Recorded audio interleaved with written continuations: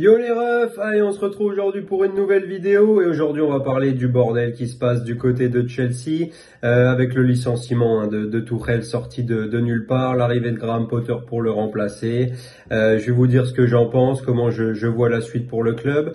Euh, N'hésitez pas à réagir dans les commentaires, à me dire ce que vous avez pensé en apprenant le, la nouvelle de, du licenciement de l'entraîneur allemand, ce que vous pensez que d'après vous Graham Potter peut emmener Chelsea euh, vers un top 4 en première ligue cette année. Euh, et puis comme d'habitude, n'hésitez pas à mettre un petit j'aime, à partager la vidéo, à vous abonner surtout si c'est pas déjà fait. Et on part tout de suite, c'est parti. Allez, c'est parti, on va rentrer tout de suite dans le vif du sujet. Euh, donc déjà, avant toute chose, je, vais décomposer hein, la, vidéo en deux parties. Euh, premièrement, je vais parler de, de Tourelle, de son renvoi. Euh, je vais vous donner mon avis et les conséquences que ça va avoir selon moi. et dans une, deuxième partie, on parlera de, de son successeur, hein, du coup, parce que maintenant on sait, c'est officiel, c'est Graham Potter qui va le remplacer. Donc je vous dirai ce que je pense de lui, et puis comment je, je vois la suite pour Chelsea. donc voilà, donc on attaque tout de suite avec la première partie. Donc euh, Tourelle, un nouvel, nouvel choc qui se fait euh, licencier au lendemain d'une d'une défaite à Zagreb en Ligue des Champions. Euh, alors, d'un point de vue purement sportif, c'est vrai que le, début de saison de, Chelsea, il est pas, il est pas incroyable. Hein. Ils ont gagné seulement trois matchs sur six en Première Ligue. Après, pour moi, c'est pas une raison suffisante pour limoger euh, un entraîneur du calibre de, Thomas Tuchel. Euh, des débuts de saison compliqués, tous les managers en connaissent. La preuve, hein, Liverpool avec Jurgen Klopp, c'est très compliqué cette année. Euh, donc voilà. avant de, de, poursuivre un peu, je vais vous dire tout de suite ce que j'en pense. Pour moi, je pense que le licenciement de Tourelle, c'est une grosse connerie. Euh, je pense que le nouveau propriétaire, il sait pas vraiment ce qu'il fait. Hein, et je pense que voilà, après six journées moyennes, ça appuie sur le bouton panique et ça vire, euh, ça vire l'entraîneur qui nous a emmené sur le sur le toit de l'Europe il y a deux ans en nous faisant gagner la Champions League. Euh, donc voilà, pour moi, pour moi, c'est clairement une erreur de, de le licencier. Euh, maintenant, pour parler des raisons un peu hein, qui, soi-disant, seraient à, l'origine de son renvoi, on en apprend un peu plus hein, depuis un ou deux jours dans les dans les colonnes des journaux anglais.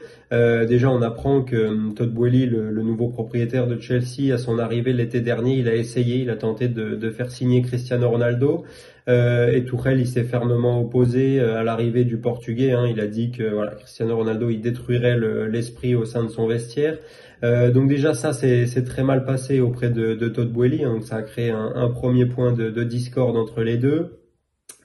Euh, pareil, on apprend aussi que, que Tourelle, il était plus forcément euh, en odeur de sainteté et dans les meilleurs termes avec tous les cadres de son vestiaire depuis la fin de saison dernière. Euh, donc voilà, je pense que les, les deux raisons-là, elles ont clairement plus joué que les, les résultats sur le, sur le renvoi de Tourelle. Euh, après voilà, hein, on va pas se mentir, en termes de, reconnaissance et de gratitude, on est clairement au plus bas hein, de la part de Chelsea. Hein. Il faut pas oublier que Tourelle, il leur a fait gagner, comme je l'ai dit, la Ligue des Champions il y a deux ans, en battant City en finale. Euh, L'an dernier, quand le conflit en Ukraine, euh, il a éclaté, et puis que Chelsea, ils étaient sévèrement touchés hein, à cause des, des liens euh, entre Abramovich et Poutine, euh, bah, Tourelle, il est resté au club. Il est resté au club alors qu'il était même pas payé entièrement, il percevait même pas la moitié de son salaire tous les joueurs euh, n'étaient pas payés non plus. Euh, malgré tout, il est resté, il a continué à travailler et a bien travaillé d'ailleurs, hein, puisqu'il a obtenu une troisième place euh, en fin de saison, puis troisième place obtenue assez assez tranquillement. Hein. Bon, alors loin derrière les deux premiers certes, mais mais assez tranquillement quand même. Donc en termes de gratitude, je trouve ça clairement clairement minable. Hein. Je veux dire, le mec il reste au club quand c'est la crise et après six journées moyennes on le vire. Bon, chacun euh, chacun verra ça comme il le veut mais euh, moi je trouve que c'est je trouve que c'est clairement pas ouf. Euh, maintenant les conséquences que ça va avoir son renvoi bah déjà pour moi je pense que ça envoie un très mauvais joueur un, très mauvais message pardon que ce soit aux joueurs ou aux fans. Bah parce que appuyer sur le bouton panique après seulement six journées alors que tu as dépensé plus de 250 millions d'euros sur le mercato pour recruter les joueurs que Tourelle voulait c'est clairement pas ouf hein, en termes d'image. Euh, pareil, le message que tu envoies aux fans, tu sors d'une période Abramovich où les entraîneurs ils se sont multipliés, ils sont passés tous les uns après les autres sans forcément rester trop longtemps. T'es même pas là depuis six mois et après six journées ton coach il saute. Bon, c'est clairement euh, clairement pas ouf pour moi. Euh, et puis je, pense, hein, je pense que ça va quand même, je pense ça va quand même laisser des séquelles hein, le renvoi de Tourelle. Pour moi, tu peux pas tu peux pas virer un entraîneur de ce calibre-là sans que ça laisse de séquelles. Et puis d'un coup, bam, c'est reparti et Chelsea se, remet à rouler sur le championnat. Pour moi, c'est pas possible. Euh, donc voilà, voilà pour euh, pour la partie sur le sur le renvoi de de l'entraîneur allemand. Maintenant, on va parler de, de l'arrivée de son successeur, parce que du coup, depuis hier, c'est officiel, c'est Graham Potter, l'ancien coach de Brighton, qui va qui va remplacer Tuchel. Euh, donc direct après son départ, il y avait des rumeurs, hein, comme quoi comme quoi c'était lui le, le, clair favori, le, le, candidat numéro un pour le remplacer. Euh, donc ça a été officialisé hier, hein, Chelsea qui ont qui ont posté un tweet en, en annonçant la nouvelle. Euh, ce que je pense de Graham Potter, moi je l'ai déjà dit hein, dans ma première vidéo, euh, je pense que c'est un très bon entraîneur, c'est vraiment un très très bon entraîneur. Euh, ce qu'il fait avec Brighton depuis depuis 3-4 ans, je trouve que c'est vraiment très bien. Euh, il n'a pas de star dans son équipe, mais il avait ses idées de jeu, il avait ses joueurs et ça tournait très bien. D'ailleurs, il faisait un, un début de saison plus que correct cette année. Euh, donc voilà, personnellement, je pense que je pense que Graham Potter c'est un très bon entraîneur. Après, est-ce qu'il va pouvoir s'adapter euh, à un club comme Chelsea où la pression elle est constante et où les managers ils restent euh, rarement très longtemps? Euh, Est-ce qu'il va réussir à gérer un vestiaire euh, de stars comme celui de Chelsea? Parce que le si on compare les deux vestiaires, hein, celui de, Brighton et de Chelsea, clairement c'est le jour et la nuit. Il y en a un qui est rempli de stars et l'autre où il y avait honnêtement, je pense pas qu'il y avait la moindre star dans le vestiaire de Brighton. Hein. il y avait de, très bons joueurs certes, mais il n'y avait pas de il n'y avait pas de Sterling, il n'y avait pas de, de Havertz, de, de Ziyech, de Koulibaly, de Mande. Voilà, il n'y avait pas, il y avait pas tous les, les joueurs de, de classe mondiale qu'il y a, qui a à Chelsea. Euh, donc ça va être intéressant hein, de voir ce que, ce que Graham Potter il va faire avec, euh, avec cette équipe.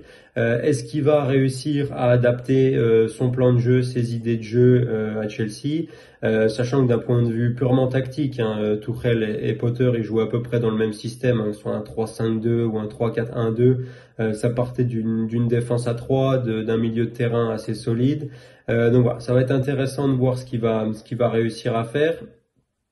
Est-ce que je pense que virer Tuchel et amener, Potter, c'est une bonne idée? Euh, Non, honnêtement, non, je l'aurais pas fait. Euh, je pense, enfin, on trouve pas, on trouve pas des entraîneurs euh, du calibre de, de Tourelle et avec un CV pareil à tous les coins de rue.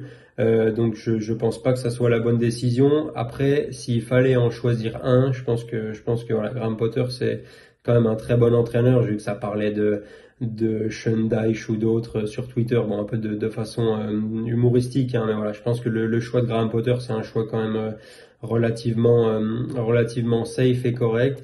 donc voilà, ça va être intéressant de voir ce que ça va donner. Euh, bon, du coup, on pourra pas, on pourra voir, pas voir ça dès ce week-end hein, parce que avec le, le décès de, de, la reine d'Angleterre, tous les matchs ont été annulés ce week-end, que ce soit en première ligue, euh, en première ligue féminine ou en championship, donc on verra pas ça ce week-end. Euh, J'ai envie de dire tant mieux parce que ça laisse un peu plus de temps à, Graham Potter pour euh, pour s'installer, pour prendre ses marques. Euh, donc voilà, j'ai hâte de voir ce que ça va donner honnêtement. Euh, et puis pour faire un, un dernier point sur sur Tourelle, euh, bon, il va quand même partir avec un, un chèque sympa, hein, puisque Chelsea, je crois qu'il lui devait à peu près 12 ou 13 millions d'indemnités de, de, transfert. Euh, lui, il a, il a dit, hein, il a dit dans, euh, dans une interview que voilà, il n'était pas forcément pressé de, retrouver un banc, euh, qu'il allait un peu attendre de, voir ce qui se passe.